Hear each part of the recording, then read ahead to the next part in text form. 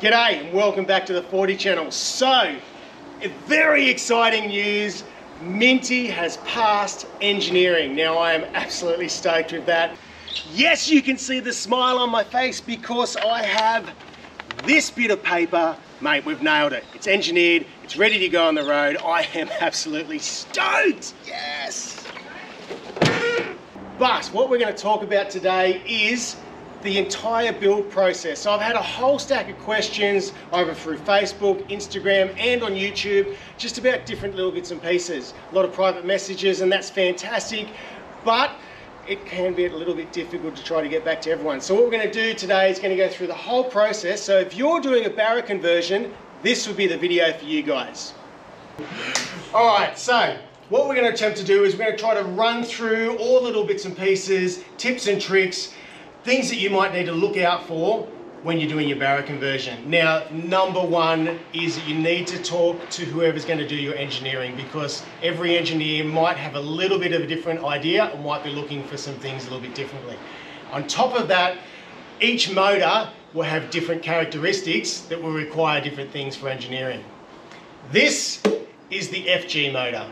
So this is 2012 and this particular motor, when you're buying it, you need to look out for a few things. Right, so let's start from the very beginning. Purchasing your Barra motor. Righto, so at the end of the day, you need to purchase whatever Barra you want that's gonna fit your budget. The beauty of this is you can go from $300 to anywhere upwards of five grand if you wanna go a turbo Barra. The first thing you need to do is make sure that whatever Barra you get, regardless whether it's FG or not, you're gonna need an FG sump. And the reason for that is it's going to give you clearance under your drive axle. The second thing you need to do is when you're buying your Barra motor is that it comes with everything that's attached to it. And I'm talking about everything. And I got caught out here. So when you buy your Barra, you need to make sure that it's coming with all your wiring, ECU, your accelerator pedal, and on the newer ones, all the little emissions bits and pieces. So vacuum hoses, little solenoid valves, purge tanks, all that stuff that normally gets thrown out when someone's ripping a Barra motor out. Do not throw it away. Righto, so we've got optional bolt-ons and this is something you really want to do when the Barra is outside of the vehicle. Now, as you might have seen early on in the piece, the first thing that we did to this Barra is we swapped the alternator and the power steering. There's a couple really good reasons for this. One, the Barra motor power steering pump is totally renowned for leaking and causing issues right down to the alternator and causing your alternator issues and power steering issues down the track. This comes from Castlemaine Rod Shop. It moves our power steering reservoir to anywhere you like.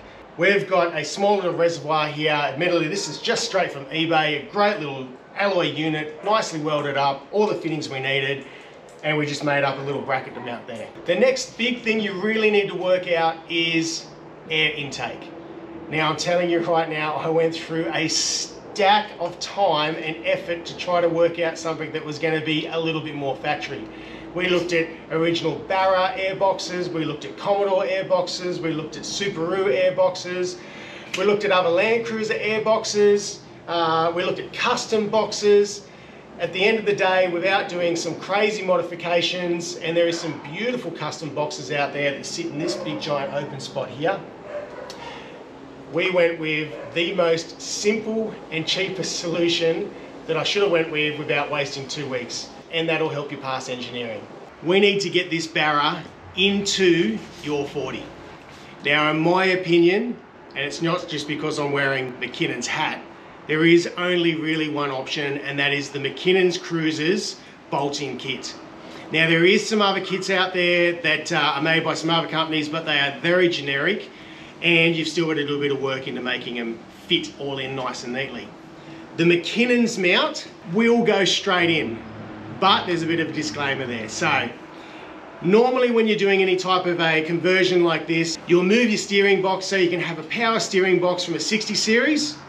That way you've got a bit of luxury as you're driving. But I wanted to keep the original power steering box all running, the original setup straight from the 40. I liked that it had that classic setup. It was already in. The catch out for me is that I had to move the McKinnon's mount. Now we've worked through this with Billy and the great thing is moving forward there should be this option available for anyone going down the same road I am. So McKinnon's mounts will make everything a lot easier. The exhaust system is something you're going to have to look at to comply with engineering and emissions. So you're going to have to run your CAT and you're going to have to run a muffler and it has to be below a certain decibel. So the way we've run our exhaust is that we've actually run underneath the barra, flipped it around and we've caught up the original route of the exhaust system. So we picked up all the original exhaust mounts uh, and just made it so much easier to fit up and make it because we had a bit of a template to follow, which is fantastic. The conversion kit from the barra to your transmission. There's two options. One, auto box. I didn't go the auto box, so I can't really comment too much on that but I'm led to believe it's still fairly straightforward and simple, but you're gonna need more wiring, more modification to inside your cabin around your transmission tunnel. On top of that, you're gonna have to make some more modifications to all your drive shafts. So I opted to go with the five speed, I've gone with the H55F, and we've gone with a Dellow's adapter. Don't get me wrong, the Dellow's adapter works really, really well. Bolts up, no issues there, everything works beautifully. The only issue we had was working around the slave cylinder. So it didn't quite, didn't quite work properly. We ended up fabricating up one just to make it spot on. So just be aware that when you talk to Dellow's, give them as much information that is correct from the vehicle that you're getting it from and the motor that it's going up to because that'll make a difference in every single part that fits up to it. The next most crucial part of your build, you cannot do it without it, is the wiring and the ECU. Now, that is like I said before, you need to make sure that you're wiring and your ECU with the motor when you buy it. I highly recommend that you talk to someone that has done these type of conversions before when it comes to wiring and reprogramming your ECU. I went through a guy called Jim at Sideshow Wiring. I tell you what, Jim's not the cheapest, but you cannot put a price on the knowledge and the after sales service that Jim gave me. So I sent all my wiring, the entire wiring loom, ECU, the whole lot down to Jim. He stripped all the wiring loom down, all new plugs, reprogrammed the ECU, full communication with the customer, exactly where your OBD is going to go or where you want it, where you want your computer to mount up, how far away your accelerator pedal is. Everything is customized and made to length to fit to your specifications. So I opted up for the fuse box to go inside the engine bay. I also opted up for the computer to sit inside my glove box, which fits absolutely beautiful. Like I said before, I believe that Ford that made their ECU the to fit in a 40 series glove box. It's that perfect. On top of that, when you plug it all in, which is just plug and play, it's as simple as that, Jim gives you a full rundown of exactly where the wires need to know and there's really only five wires that you need to put in. It's pretty simple. If I bought this wiring loom off some random guy at eBay for like 400 bucks, who knows whether it would have worked properly, who knows if the cabling was long enough, and the after sales would have been non-existent. So make sure you talk to your auto electrician, whoever's going to do your wiring, that they know their stuff and that you get some confidence in it. You can't put a price on it. While we're still on the topic of electrical wiring, let's talk about the alternator. Now the FG comes with a smart alternator. That's not really ideal for what we're trying to achieve here, as it does all sorts of weird stuff that is way over my head. So we went for the dumb alternator. Now, direct question, what's a dumb alternator?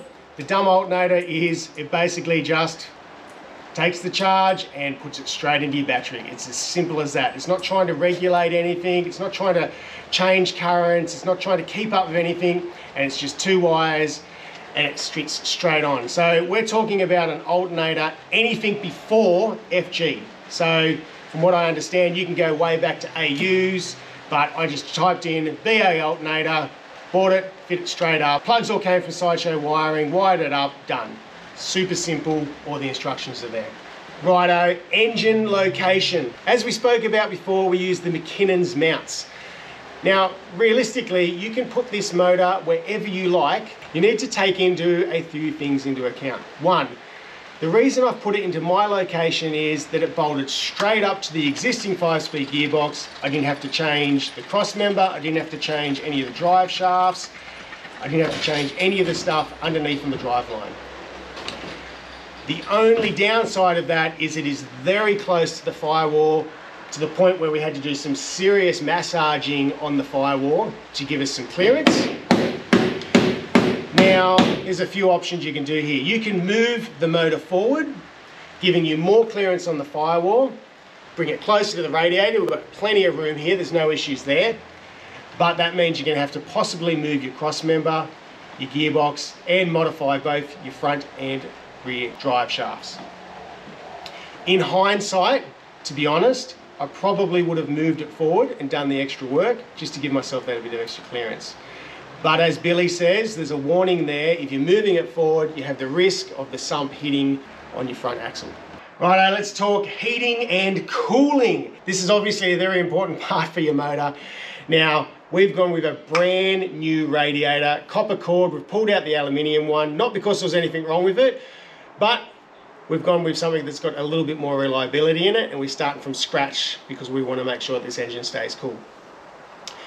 Now, this is where it starts to get a little bit tricky as far as hosing. Now, the beauty is you can buy a swivel thermostat housing that you can put into any location you like. This was a bit of a game changer in trying to fit up hosing or making extra hosing or twisting stuff around. As you can see, it's straight in, made life incredibly easy. The bottom setup, we had to cut two different hoses together to get a nice shape around to clear it all, and then we've made up a guard just to keep it away from any pulleys, keeping it safe. Heater hoses. Now, Raceworks makes some really cool fittings that just screw straight into all your heater hosing connections and you just plug your hoses straight on. Now what we need to do is we need to have the bypass run. And the reason for that is the heater core in the 40 series Land Cruiser, it's old. there's a possibility that the pressure of the heater system in this will blow that heater core out and you're going to have coolant all through your cab. You're going to be losing coolant. You're going to it's not good. Let's just say it's not good.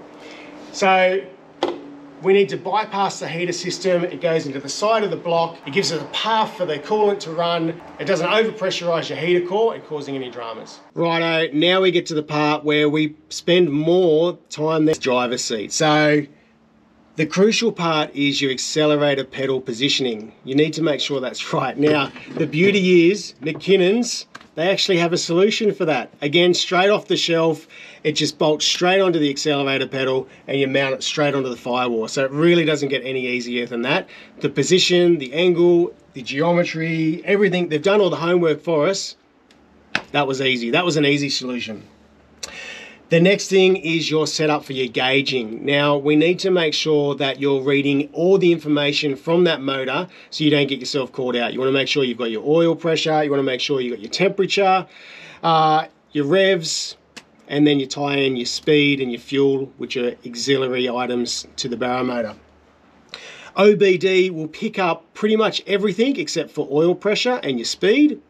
So there's a great option there to be able to get some aftermarket dashes. We're running the N-QUE dash, which is incredible. It picks up pretty much everything we need to do. Now, oil pressure, all we needed to do there was run a T-piece, oil pressure gauge from an AU Falcon, and the sender wire straight into the dash. So that was a really quick, easy solution for that. If you're gonna run a homemade dash or a different sort of setup, you need to be aware that a GPS only speedometer, unfortunately, will not pass engineering. Well, it, I know that for New South Wales, I assume it's the rest of Australia. The rest of the world, I think you guys can do whatever you like, so you're a lot more lenient. So that's crucial information for the Barra. Now, what's left in the 40 series that's redundant? We've got our idle up switch, choke, obviously another one that's gone. So you're gonna give yourself a few options that you can reuse uh, different locations which is pretty cool. Again, the rest of it's pretty much the same. And as I said before, ECU in the glove box. It's well protected, great spot for it. Righto, so that is the Barra conversion in a nutshell. So if you guys are doing a Barra conversion, hopefully this has been a help to you. And if you're doing other engine conversions, hopefully there's been some little tips and tricks in there to get you sorted as well. And I'll tell you why I really, really like this Barra. One, pulled out a straight six, four litre. I put back in a straight six four litre.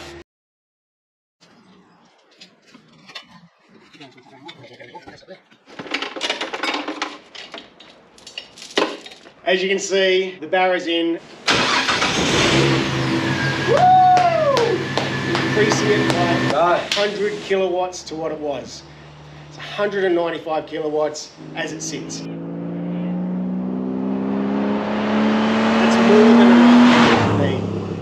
More than the 2F ever produced, so uh, nearly double, which is pretty, pretty cool. All the weights have pretty much stayed the same, so it doesn't mean you're changing any of your suspension setup. It is such a great option. The Barra is reliable, and to be honest, I'm not a Ford guy, but I'm giving this Ford an absolute rap. Still reliable, it'll still get me anywhere, but comfort on the road. Hopefully fuel economy is gonna be dropped a fair bit from all reports. It's supposed to be pretty good. I can't report on that just yet. I haven't done enough. So now all it is is up to your imagination. Bull bars, driving lights, suspension, lifts, tires, rims, roof racks, whatever it is, make sure you get it all done before you take it to engineering because all of that will go onto your certificate and it'll all comply and make it legal. Righto guys, like I said, that's it. Hopefully it's been a help to you guys and until next time, take care of yourselves.